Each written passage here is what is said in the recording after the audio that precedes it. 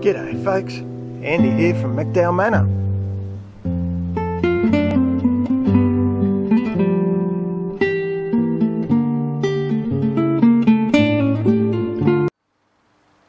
So today, the boys and I are more excited than an excited thing with a degree in excitation. We finally, after all these years, got solar power.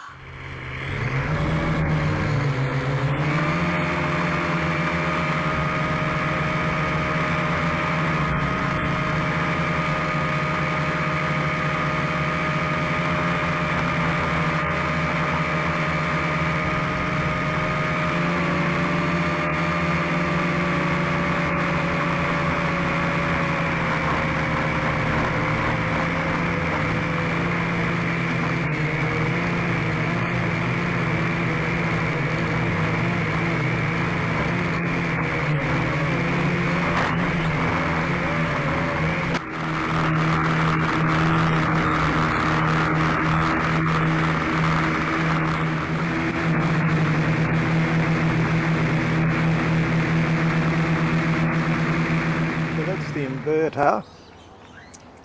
Um, it's a bit trendy. It's um, kind of wave your hand across the panel to make it go onto the next display. You can probably see, I'm not sure, it's not producing any wattage uh, um, power at the moment. Well, of course it's not because it's pretty close to getting nightfall. Um,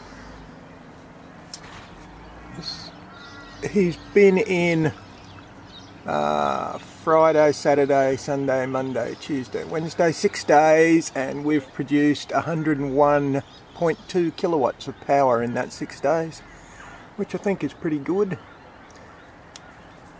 Uh, it's bigger than I thought it would be, I've got to tell you. I'll step back and give you a look.